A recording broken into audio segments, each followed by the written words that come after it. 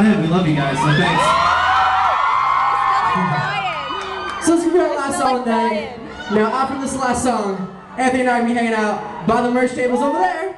Now after the whole show's over, all five of us will be hanging out. So we want to meet every single one of you here tonight, okay? Now this last song is our current single. It's called When Everything Falls Back Down.